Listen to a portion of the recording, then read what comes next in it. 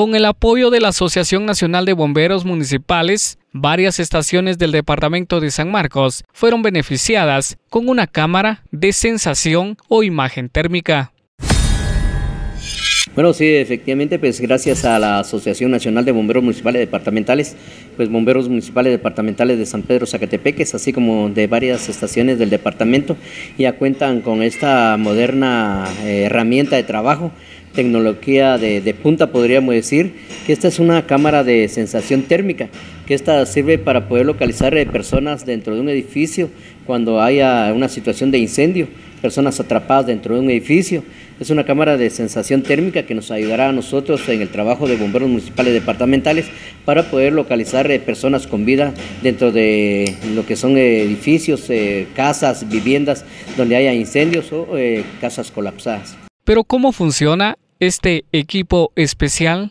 Sí, es importante que esto es una cámara de sensación térmica eh, que pues marca el, primero el calor eh, corporal de la persona, ¿verdad? Eh, a la hora de ingresar a, un incendio o a un edificio derrumbado, vamos a nosotros a poder localizar a las personas siempre y cuando que estén con vida, porque la sensación térmica de esta cámara pues capta el calor del cuerpo humano y la transmite a esta cámara, donde pues es más fácil poderla localizar, aun cuando no haya visibilidad, pues es una herramienta muy importante y de tecnología de punta que bomberos municipales departamentales, gracias a Dios, pues ya cuenta. Han habido varios incendios, ¿verdad? Donde hay, han quedado personas eh, atrapadas.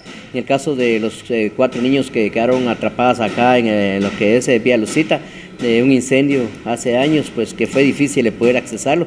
Ya con esta moderna herramienta, pues nosotros vamos a poderlo localizar aún eh, cuando estemos dentro de un incendio. Aparte de esto, pues esta cámara de sensación térmica nos ayuda también a nosotros para poder combatir los incendios.